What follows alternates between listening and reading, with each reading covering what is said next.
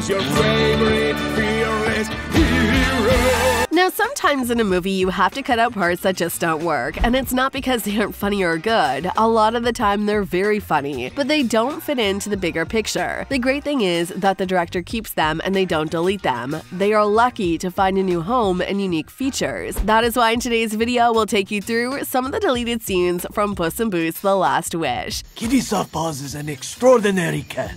She deserves a legend. And without those lives, Pero, I am no legend. We like to show you this scene first. This scene was meant to show how Puss and Kitty will use each other to get what they want, and more importantly, how they will use the innocent dog who is holding the map to get what they want. And I think you'll find that it's a very highbrow way to do things, and that might have been the problem. This is called the peeing scene, the scene that begins with three characters screaming in fear, with Puss screaming more outrageously than the rest. They all stop and stare at him, and that's when he realized how embarrassing he looked. The dog complains how the trip has been long and that he wants to take a leak. Puss also says he feels the same and joins Perrito where he is relieving himself. He then goes on to try and convince the innocent Perrito to join him and ditch Softpaw, who coincidentally joins the two where they are. Puss leaves the scene to go and relieve himself elsewhere. That is when Softpaws tries to convince the dog to ditch Puss and go with her. This scene is funny on its own, and I wonder why the directors had to cut it out. Uh, it's been a long road trip. I gotta go wee wee.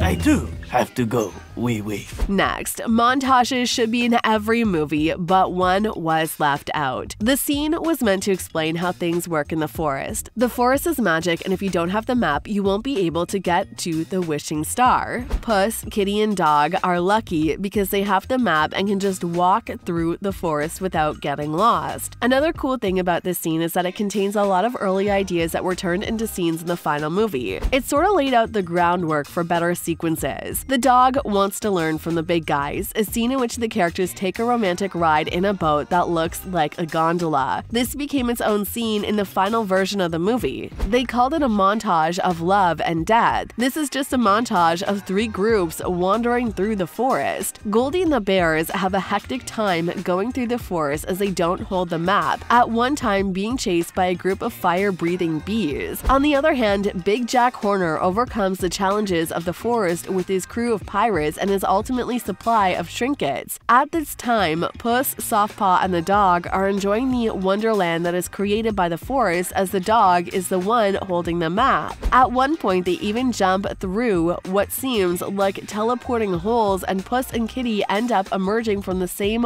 hole, stuck looking at each other awkwardly. It would have made a great scene.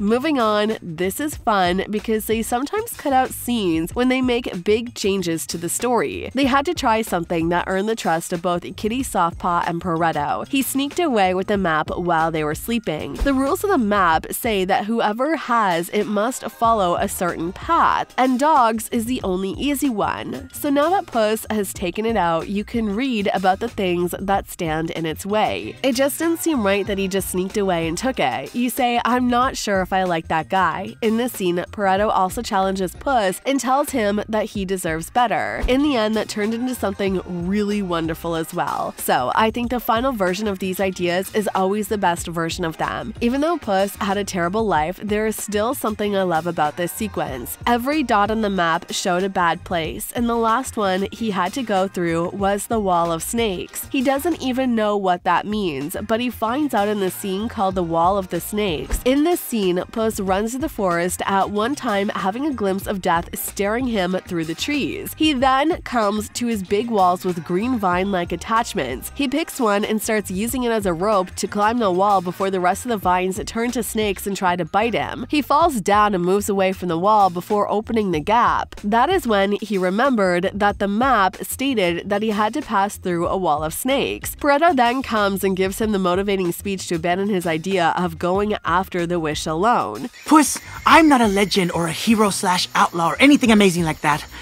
But stealing that map, That's wrong. These are the three scenes that the director revealed to us they had to cut out. Much to our disappointment, we had to agree. Anyway, in more ways than one, Puss in Boots The Last Wish proved that it put the Shrek series back on top. The new Puss in Boots movie not only got a high score of 95% from critics on Rotten Tomatoes and a score of 94% from the audience, but it also won some awards. At both the Golden Globes and the Oscar, the movie was nominated for Best Animated Feature Film. Even though it lost the Golden Globes to Guillermo del Toro's Pinocchio, it is still well liked by critics. This is the fourth time a Shrek movie has been nominated for an Oscar, but only the first one has won. With nominations for both Puss in Boots movies, the movie looks like it'll keep the Shrek franchise alive and well. Thanks to the success of the new Puss in Boots movie, there is still hope for the Shrek series. From a business point of view, the success of the box office makes Shrek 5 inevitable and shows that people still want to see more movies with legacy characters. Since Puss in Boots 2 is a return to form for the franchise, it's possible that after 10 years, there will finally be a new Shrek movie. Even though the last few Shrek movies haven't done so well, focusing on what's new and different about the IP might help it last longer in the long run. Why would I listen to a porridge stealing orphan like you? You're not even a bear. After the success of Puss in Boots The Last Wish, the co director Joel Crawford talks about whether or not a third movie could be made. Crawford talks to the playlist about whether or not Puss in Boots 3 will happen if Puss in Boots The Last Wish does well. The director doesn't seem to know any of the plans to keep the franchise going right, but he is hopeful that Antonio Banderas' character will come back and maybe meet up with Mike Myers' Shrek. I don't know what will happen next, but it was all very hopeful because we love these characters. We believe in the story we're telling, and we hope that people will be interested in it and ask for more, both with Puss and Boots and with Shrek. I think I can say,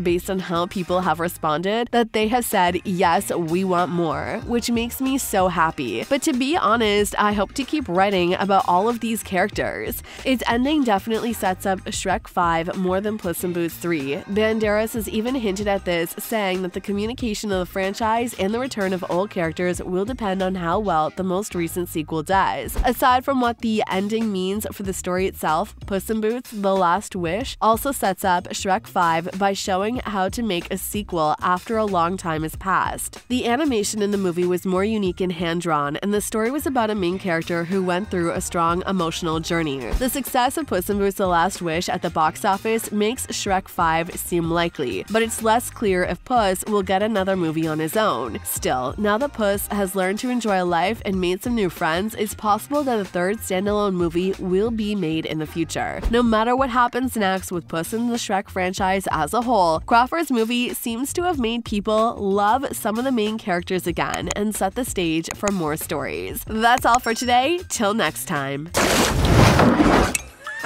I am Puss in Boots. I am no one's lapcat.